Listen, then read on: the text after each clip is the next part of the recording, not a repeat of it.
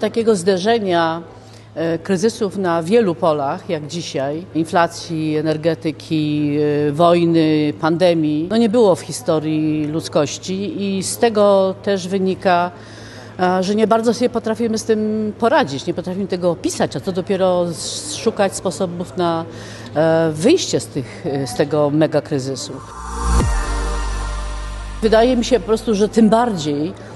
takie mm, e, konferencje jak Europejskie Forum Nowych Idei e, są potrzebne, bo my musimy starać się dowiedzieć od ludzi z bardzo różnych dziedzin, a takie jest forum, że mamy na nim specjalistów praktycznie psychologów, socjologów, ekonomistów, politologów, fizyków, więc szukamy E,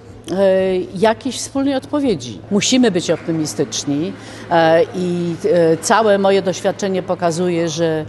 jest szansa na to, że jakieś rozwiązania znajdziemy, jeżeli będziemy ich wspólnie szukać, to to jest dla mnie właśnie zachęta, żeby iść tą ścieżką, a nie ścieżką frustracji, mówienia nie da się, szukanie jakichś takich szybkich sposobów na rozwiązanie tych problemów wydaje mi się E, niewłaściwe i nie da pożądanych efektów. Natomiast e, to, do czego bym namawiała i co robimy poprzez również JEFNI, to właśnie e,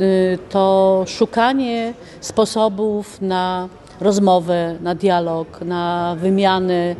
czasami myśli kompletnie szalonych. Jeżeli ktoś ma kawałek jakiejś wiedzy, chce się nią podzielić i szukać tego wspólnego rozwiązania, to to już jest, jesteśmy na dobrej drodze. Kiedy je znajdziemy, kiedy potrafimy je zastosować, nie wiem, ale z drugiej strony myślę, że